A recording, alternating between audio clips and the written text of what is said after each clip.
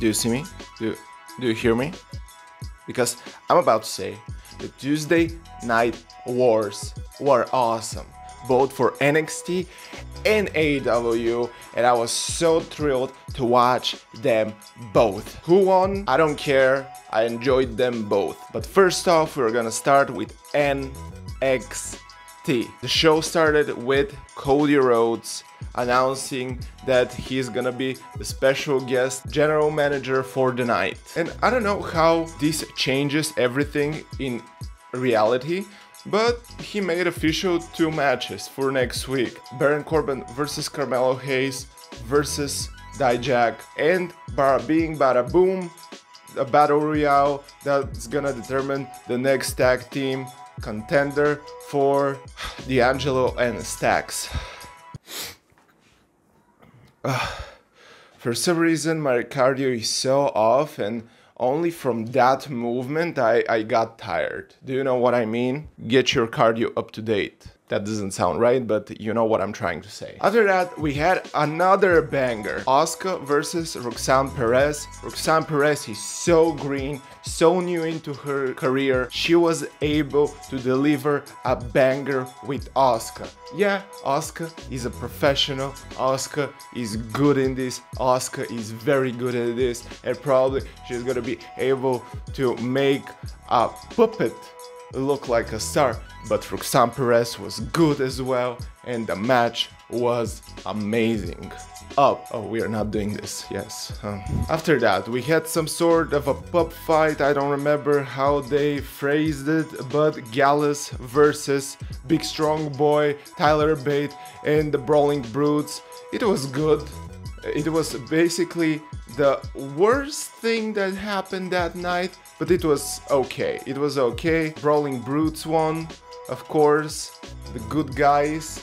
Uh, but the Gallus was uh, good as well. I, I have nothing against Gallus this time.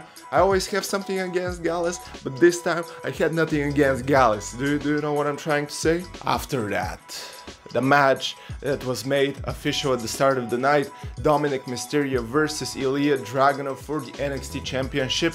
Of course, Dom is not gonna be a double champ, even though I kinda wanted to see him as a double champ.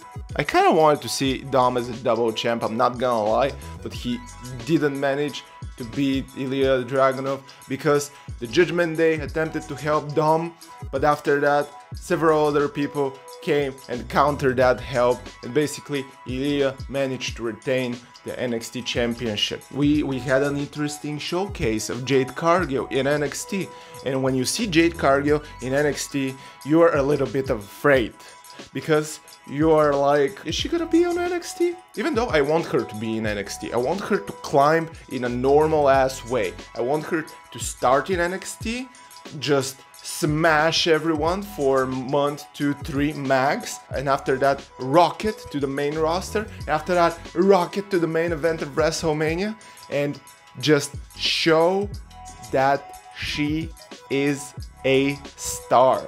Next up, we had a match for the women's breakout tournament Lola Vice versus Dani Palmer. I don't like matches that don't have any history. Of course, this is a tournament. It's normal that uh, it, it, doesn't have any history, so we're just gonna move forward. Vice won. what can I say about this? The main event. Carmelo Hayes versus Bron Breakker. Carmelo Hayes with John Cena in his corner and Bron Breakker with Paul Heyman in his corner. And it was a banger. It was a certified banger. Yeah, Paul Heyman and John Cena were useless as frick, but Solo Sikoa joined to help Bron Breakker and John Cena attacked Solo Sikoa and after that Paul Heyman disappeared and John Cena disappeared and there were only Bron Breakker and Carmelo Hayes in the ring. Do you guys see me? Probably not, but I'm here. I'm here to tell you that Carmelo don't miss and he won against Bron Breakker. But Bron Breakker was a sore loser. He speared him after the match and he was like, win or lose. There is only one badass in all of WWE. And the gong hit. Ah, the gong hit. The Undertaker showed up and I pooped my pants, everyone. I pooped my pants. Okay, I didn't poop my pants. I lied a little bit, but the American Badass Undertaker showed up, choke slam Bron Breakker. He was like, they're always gonna be bigger, better, badass than you. That's me.